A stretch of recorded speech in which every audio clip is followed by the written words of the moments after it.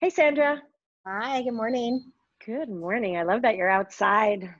yeah, I'm lucky it's warm where we are. It has been warm, hasn't it, in Texas? Yeah. So that was in the 30s yesterday morning. So it's crazy. Welcome to spring. It's exactly. been everything here too. So we have a question today that I think is going to be exciting to explore. Yeah, it's a good one, especially it seems to be a common one that we get. So the question today is for those with AI, autoimmune disease, is this virus or viruses in general more threatening? Or does an overactive immune system steer us away from colds and flus and viruses? I, I love this question. I love questions that allow us to kind of illuminate what's functional. Like, what does it mean to be functional? And having a functional immune system is a pretty complicated thing. So we don't have immune systems that are just like underactive or overactive because there's so many different immune cells and they have different jobs. Some are scavenging, some are killing things, some are cleaning up what's being killed. There's so many different things happening, and there's different killers, different cleaner uppers, and they're all communicating and working with each other. And when we have autoimmunity, it's a branch, right? It's something that came into being because of a number of different factors. And somehow, what we all have in common is that part of our adaptive immune system, so some of our cells have turned on our self. So those cells are overactive. However, they exist in a milieu that could have a number of different things going on, which is my why one reason why my Hashimoto's is different than somebody else's Hashimoto's. Because that reality that we both share, whoops, this part of our adaptive immune system is on overdrive, exists in a different terrain of immunity, in a different terrain of blood function, in a different terrain of organ function, and there's all those different things so, if we have autoimmunity, it doesn't necessarily mean that we are more at risk or less at risk. That depends on so many other factors of your immune function and your full body systems function. How would you, is that kind of sum it up, Sandra, yeah, for you? I think so. I think that's a, yeah, you did that beautifully. Um, you know, one thing that comes to mind, we had this question on our community um, chat that we do on Tuesday, Thursdays.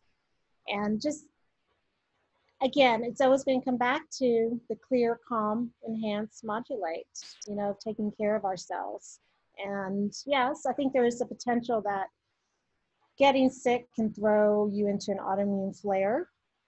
You know, that is the potential there. But the again, going back to good sleep, diet, stress, um, resilience, etc., is what's we need to focus on.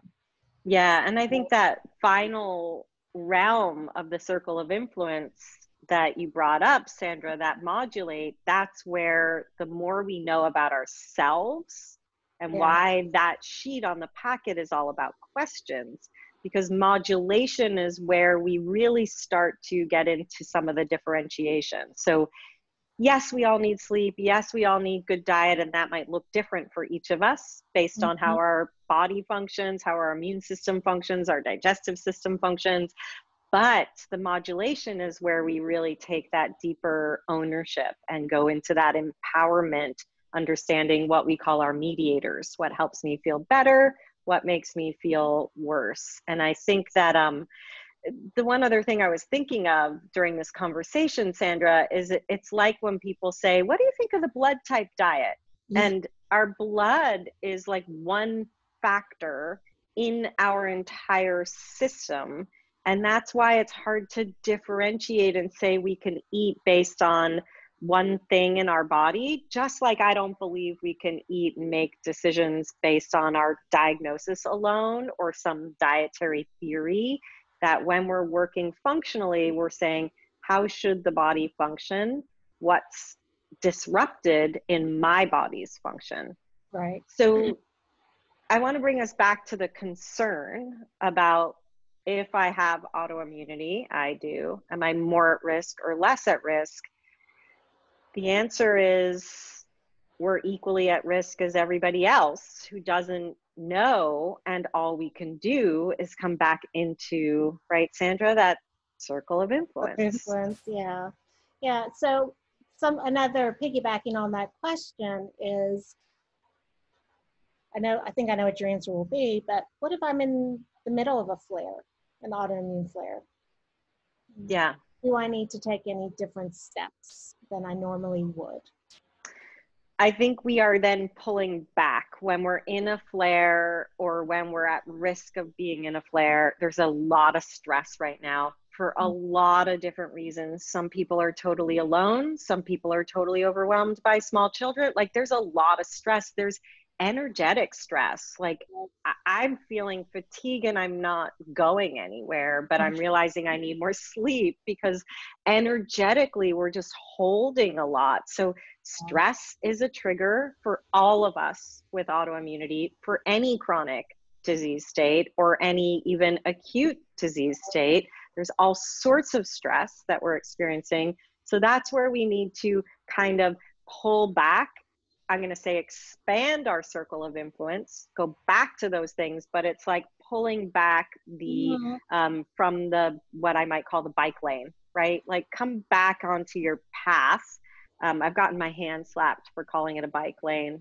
Oh, because because we should all be riding bikes, right? But right, but it's a good visual yes the visual being the shoulder on the road or the mm-hmm. bike lane that this is where you come back to what you know is your path if you have yeah. maybe things in your life now's the time to maybe pull it back to your path if you're in a flare to pull into what you know works to support you because there's a factor that's out of our control and that's how i'm always gauging that if there's more of one thing where do i need to be more uh, a, a more careful with some other things to kind of keep that balance in place all the time.